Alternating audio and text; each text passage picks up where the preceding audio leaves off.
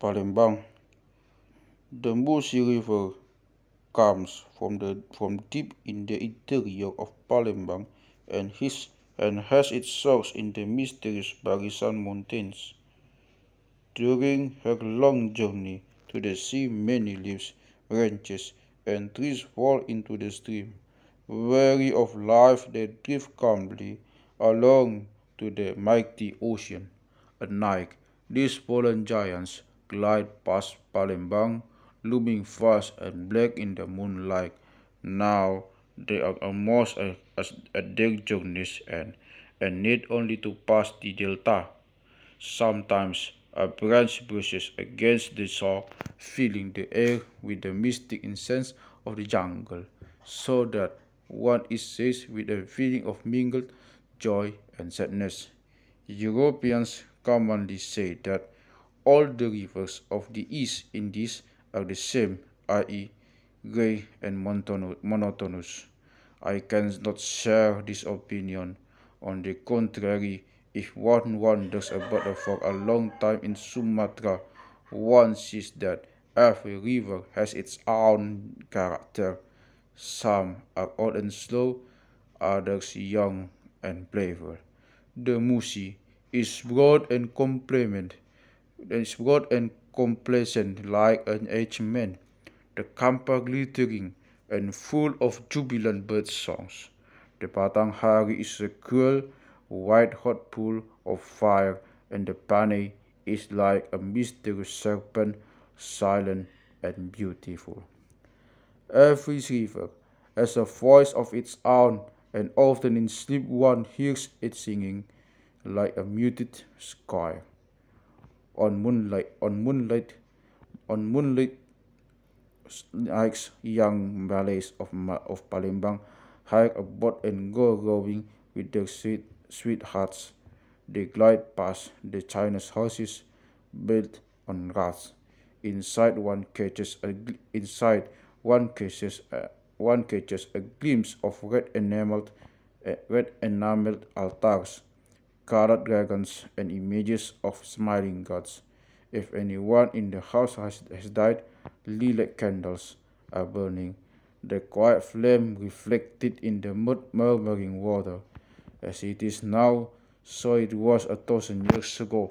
Palembang then was a mighty kingdom whose influence extended over a large part, a large part of the archipelago. Since 18, since 1918, when Professor Codes, Dean of the French School of the Far East, published his amazing discovery that in the 7th century a kingdom of Srivijaya lay in South Sumatra. An army of famous scholars have attempted to reconstruct this mysterious realm for ancient chronicles and travelers' accounts.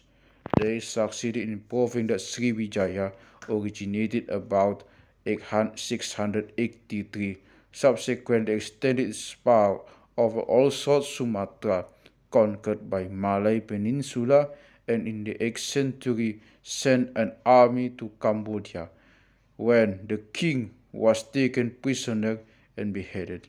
After that time, the king of Cambodia, even morning bowed of to the west in the prayer as a tribute to the Maharaja of Srivijaya. He owned a pool path with silver connected with the river by a canal. Every morning, an orderly, an orderly in a bar of gold, and at ebb tide, when all these bars of gold appeared glittering in the sun, the monarch looked out from his great audience hall and rejoiced in the, in the sight. In the 9th and 11th centuries, Srivijaya had monasteries in Bengal and, and in South and South India. It was a great flourishing town with more than thousand Buddhist monks, pilgrims from China for who wished to visit the Holy Land of India lingered here for a long time in order to learn Sanskrit and to become imbued by the teachings of Buddhism. In 747, the town beheld two famous priests within her walls, Vajrabodhi and Amoga Vajra, who brought the magic teaching of the Vajrayana to China in the 13th century. Srivijaya seems to have declined and in 1377 it was conquered by the Javanese. From the beginning, however, scholars have been surprised to learn that Palembang is so poor in antiquities. One could not imagine that there were so few temples in so large a town. For this reason, I decided to make a careful investigation a few years ago. Although these attempts were crowned with success, one cannot say that the antiquities found were in accordance with the importance which, which Srivijaya is supposed to have had. It must be remembered, however, that the ancient fields of Palembang have been plundered for centuries by the inhabitants. It is also possible that the rulers of this country had less inclination to build temples than had their contemporaries in Java and Cambodia. Where, when I came to Palembang, a great inscription that had just been found in the east part of the town. At the top, at the top, it had a canopy of seven serpent heads, of seven serpent heads. This reminds of an inscription for, from Ligor in the north of the Malacca, in the north of the Malacca Peninsula, 775 AD, in which the kingdom of Srivijaya is called the patron of the Nagas, their heads hallowed by the streaks of the luster of gems, as well as as well of the statement of a Chinese in 2025 that the kings of Palembang had sprung from the sprout of serpents. This gives, this gives reason to suppose that the inscription is Buddhistic. Hellas, the writing is Hellas, the writing is so weather, weather beaten that only a few words are decipherable, but from the form of the letters, one concludes that the inscription dates from the 7th or 10th century. Under the text is a funnel, evidently intended for the draining away the water which was poured over the stone during certain ceremonials. An excavation made at this spot resulted in the discovery of about 30 rough calligraphed stones. Nearly all bear the inscription Jaya Siddhayatra, and some in addition the word Sarva Satwa, and, the, and, were, uh, and were evidently led there by pilgrims who had come to the spot in order to partake in certain ceremonials. It is plain, therefore, that the Jaya Siddha, Jaya Siddha Yatra initiation could be followed by that of the Sarva, Sarva Satwa, giving the faithful an even greater beatitude. The expression Sri Vijaya Siddha, Siddha Yatra in the inscription from 683 might mean that the king in question had made a pilgrimage to the to Telaga Batu in order to celebrate the victory of over Srivijaya. If this assumption is correct, the inscription if if this assumption is correct, the inscription cannot possibly refer to the founding of this kingdom. Peculiar also are two irregular blocks of hardened clay which three or four lines of Sanskrit in late Pallava writing. All these inscriptions were made from the 6th to 10th centuries. In the neighborhood lies the tomb of Ratu Sinuhun, a Mohammedan princess, uh, a Mohammedan princess, who grew famous by the giving of various laws. She died in the beginning of the 17th century. Her grave is the holiest of Palembang Unlike faithful, unlike faithful Mohammedans, see a column of fire arising from it. It contains marvelous wood carvings. Perhaps the situation of both monuments on this place is not an is not an ancient, is not an accident. Telaga Batu may have been sacred for a, from a very remote time. About 100 meters west of the place where the inscriptions were found on the opposite side, on the opposite side of the road are several heaps of brick rubbish, perhaps the remains of ancient shrines. At the present times, at the present time, there are only Mohammedan graves here, going in southeast, going in a southeasterly direction. One soon arrives at the group of temples at Gading, Gading Sutra, which I discovered in January 1935. According to the tradition, Gading Sutra, Gading Sutra was a nobleman from Java who fled to Palembang after the after the fall of Mojopahit about 1528, founding a, a dynasty there which ruled until 1823. There is therefore some reason to surmise that the grave temples were built during, were built during the 16th century. Formerly, each building was covered by a tiled roof resting on wooden beams. On the, now, there are only a number of brick walls decorated with crosses and medallions. On the south side is a flight of steps. One of the temples was originally built, built of natural stone. Later, an outer casing of brick was made with an entirely different ornament. Among the ruins lay a beautiful image dating from the 8th to the 10th centuries, 1.18 meter high, representing a standing god in festive dress with ear ornaments armlets and necklace, a garment with loops on both hips and draperies, and draperies reaching almost to the ankles. Eleven strands of hair fall over back and shoulders. The left leg is slightly bent. Head and arms and feet are missing. Now, far away, a uh, lotus cushion, a cornerstone of terracotta, also came to life. A true search of the field revealed the trunk of an elephant, the fragment of an animal head, and the relief of a parrot within a garland. North of this group of buildings, on the hill Mangkubumi, lie two more brick monuments, about 140 meter, about 140 meter westward is the shrine of a certain Panembahan, which is similarly decorated with crosses and medallions. Here also, some of the walls have been renovated without taking into consideration the original plan.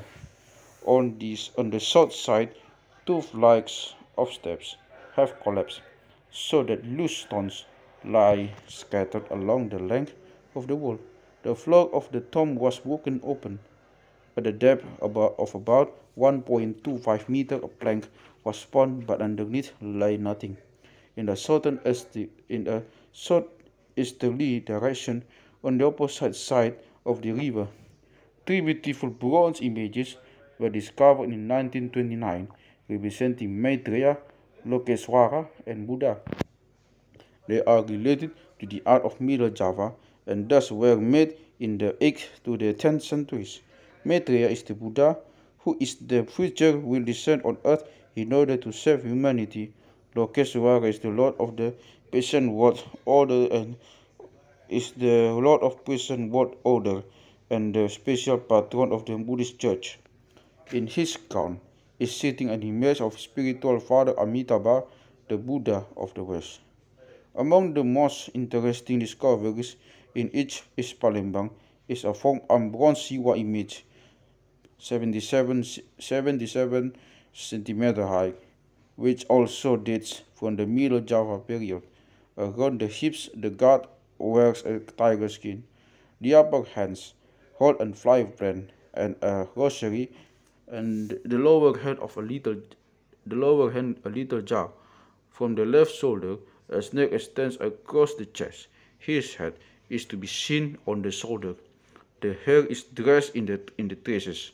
One on the forehead is a third eye.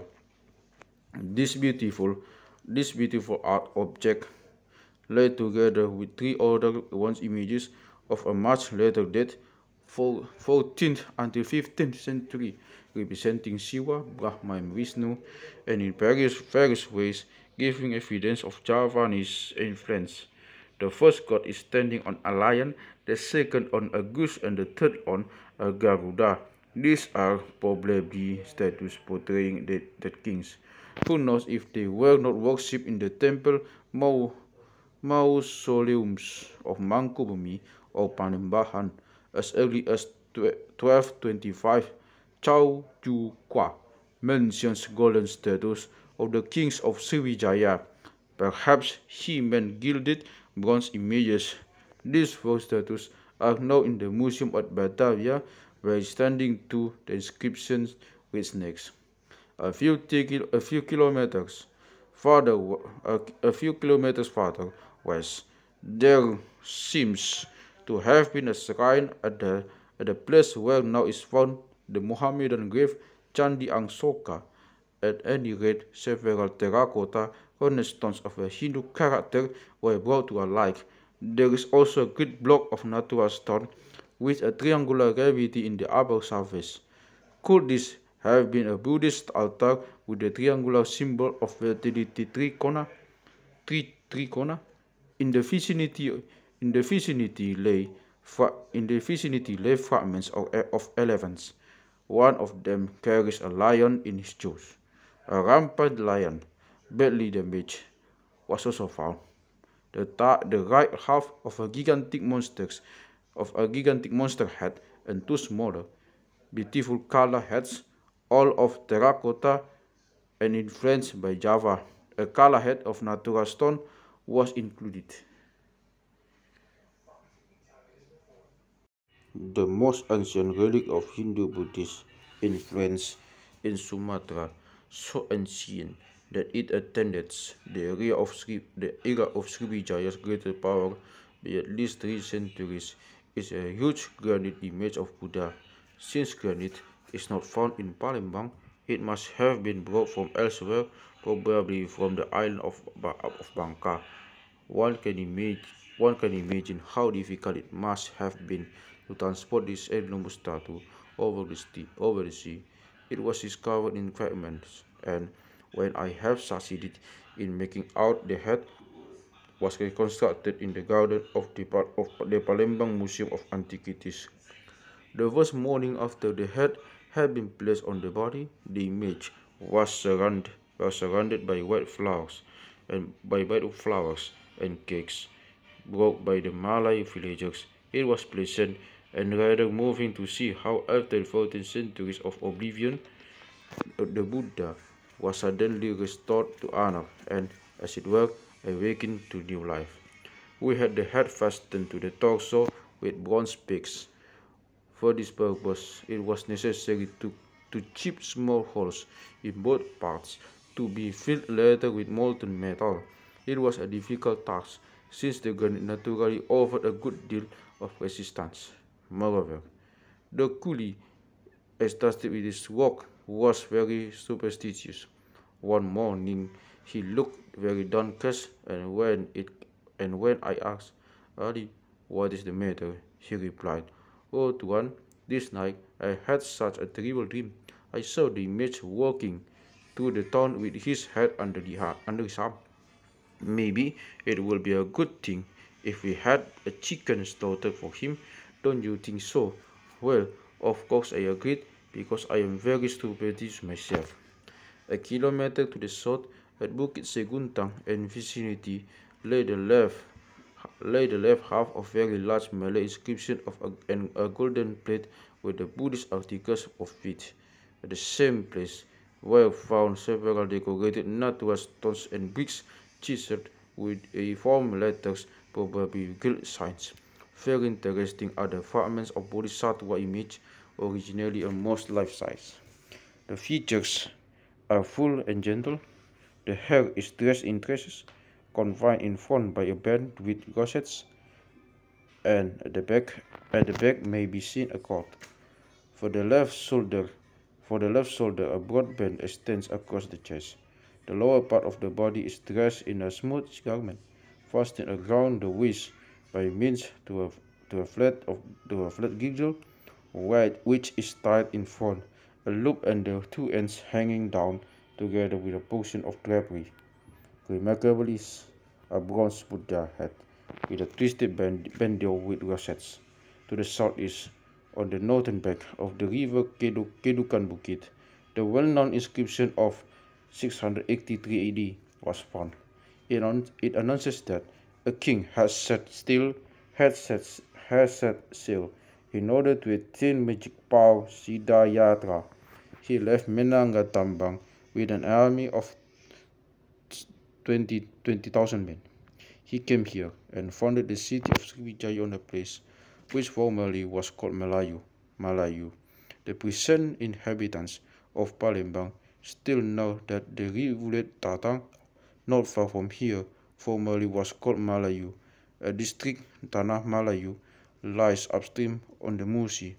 Between this patch and Palembang is an island Pudujaya, Wuruwijaya, remaining of the famous city of Sriwijaya. The excavations at Kedukan Bukit produces a god's head and a pedestal. Formerly, there was a second stone with inscription.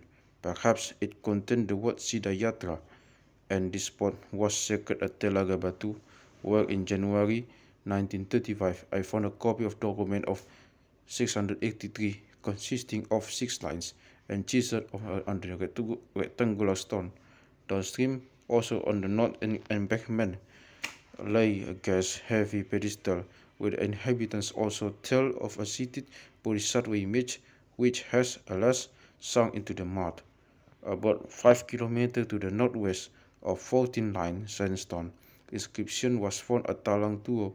It announced that 684, a park was made by order of certain Jayanasa. The, the tree, the tree planted here must be a blessing to all creation, thereby awakening to thought of the Buddhist faith and recalling the mystic body of the diamond Vajra Sarira. In former times of the book at the Bukit Siguntang, included at least four, four Hindu shrines, one at the summit, one at the west base, one at the base of the hill to the southeast and one about two kilometers farther north where the great Buddha image was found. Evidently, this hill country was sacred long was sacred long before the coming of the Hindus. From Malay legends relate that a descendant of Alexander the Great Iskandar Zulkarnain descended on the Bukit Seguntang. Two old, window, two old widows who had a field in these hills one night saw the mountain enveloped in a very glow. On approaching, they saw on approaching they saw a man seated on a white buffalo. He became the first he became the first king of Palembang, and his name was Sri Turi. A great a few years later, he went over the sea and founded the city of Singapore, where he remained until his death. Perhaps we may, infer, we may infer from this that Sriwijaya was transferred to Singapore. The graves of Iskandar Zulkarnain's descendants were still to have been on the Bukit Seguntang a century ago. They were, there were four heaps of stone lying in a row, presumably from very historic times. Close by was of the close by was the footprint of certain Demang Lebar Daun. This same, on this same spot, a saint from Mojopahit is also supposed to have lived. It was it was he who gave the celebrated hero Si Pahit Lidah supernatural powers by spitting into his mouth. For centuries, the natives of Palembang swore their most sacred oath on this mountain, and to this day, the graves on its summit are visited by pilgrims, by pilgrims and strewn with flowers. Downstream, on the right bank on the, of the Musi lies the Gunung Mahmiru, the second mountain which formerly overshadowed Palembang. But the ape Anuman, but the ape Anuman snatched off its top and hurled it at the wounded giant Rawana. But he is not yet dead. His blood still flows and fattens the separate fish of Singapore.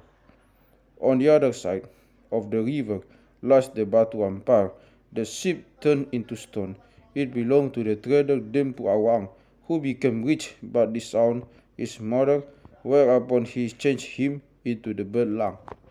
His ship was turned into stone. This legend is known throughout all Borneo and Sumatra. All chronicles give us interesting particulars concerning this kingdom. Thus, they relate that a small island is a large volcano, the summit and flanks of which are inaccessible, inaccessible because everything that comes into its vicinity is consumed by fire. In the, in the daytime, it throws out great clouds of smoke and by night a glowing fire. At its foot are cold, at its foot are cold and hot pools. Evidently, the famous volcano Krakatau is meant.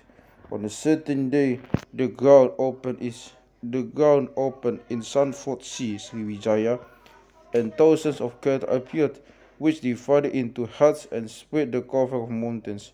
The inhabitants could take as many as they liked. Subsequently, the fissure was filled up with trees and bamboos. This story is still related in the Batak lands. We heard it several times. Many places are also indicated where the cattle are supposed to have emerged from the ground. One such, a, one such place lies between Ujung Batu and Ujung Jilok in Padang Lawas, to the left of the road. It is called Bulu Sipa, Siparonga, Siparongaong. Whenever the king appeared outside the palace, he was carried. He was he was carried on a golden couch, above which was a golden baldachin. Silken umbrellas protected him from the sun. He went sailing in a boat which in the 19th century had a prow adorned with a serpent's head, while he was protected by guards armed with golden lances. His soldiers were unsurpassed in courage and contempt For he mounted the throne, a golden image was made of him, and at his death and cremation, his followers leaped into the flames. In token of mourning, the people shaved their heads. The king was only allowed to eat sago, because the consumption of rice will result in drought and poor harvest. He was also compelled to bathe in rose water to prevent floods religious ablutions still occupy an, an important role among, the, among, among all the peoples of Sumatra, as they are taught to, to avert sickness, accidents, and evil influences.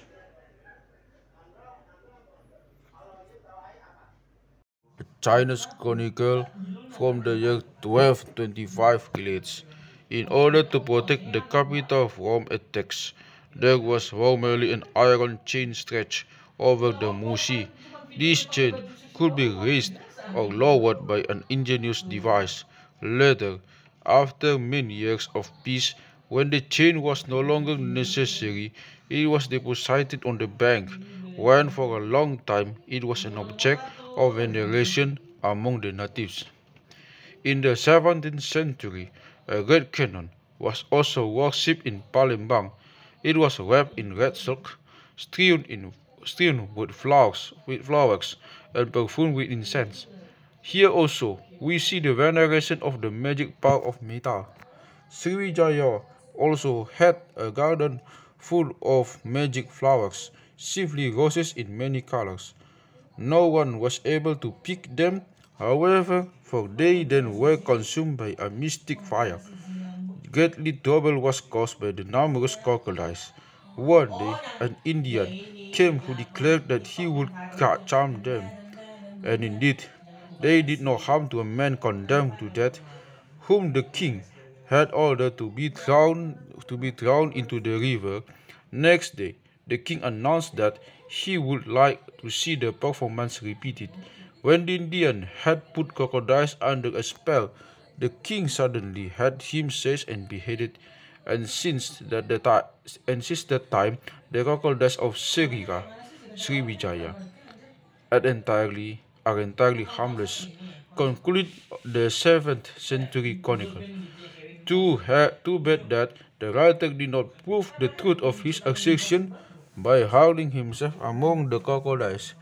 Towards Sumatra, it is still believed that there can be a sort of friendship between human beings and crocodiles. Every man has, has a special crocodile which takes him on its back to distant places and protects him from possible dangers.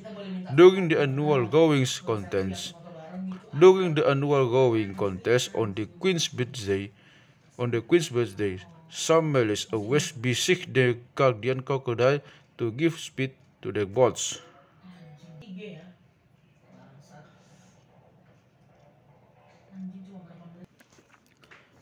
At the time of the Mohammedan at the time of the Mohammedan first approaches the people are seized by a certain agitation.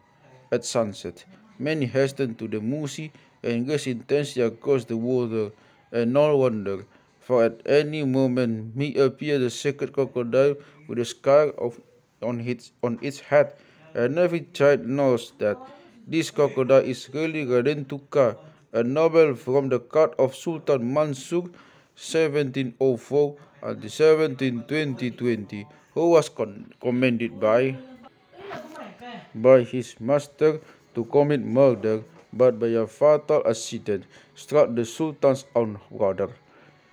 There he was then changed into a crocodile and lived henceforth in the churchyard of the Kebon Gede, west, the, west of the city.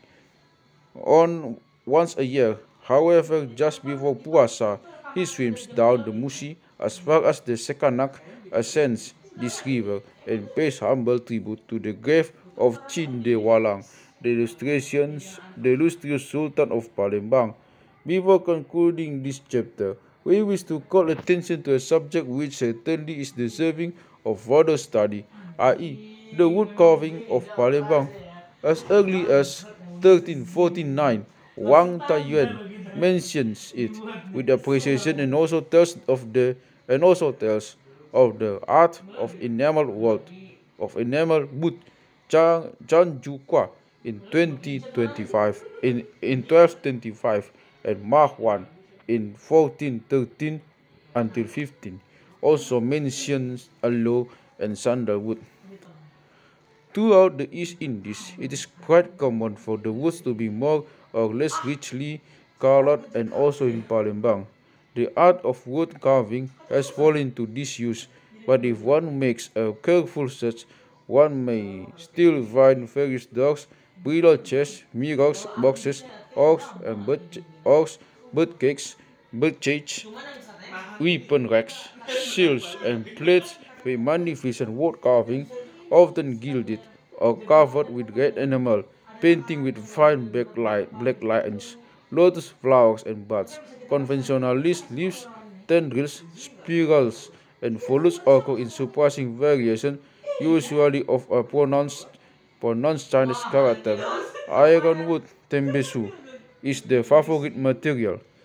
Especially beautiful are the grave pillars, are the grave pillars still found here and there is and there in old Malay cemeteries. They terminate in three points. The decoration consists of three pendants and a medallion, a motif which may only be used by the Sultan's descendants. Usually, these graves are sheltered by a tiled roof, as may, as may be seen over the grave of Nyanyu the favorite wife of Sultan in Lemabang. The little house has beautifully painted panels, and under, and under the ceilings is an arabesque of carved wood. Now, however, now, however, all is decayed and destroyed by moisture. Here, and there appears the first design of pale gold flowers, flowers and leaves, but that is all. Now rich fans surround the beautiful tomb, covering it with a soft green pall. Truly the Mohammedan poet was right when he said, When the world shall pass, the world shall not endure, the world is as a house made by the spider.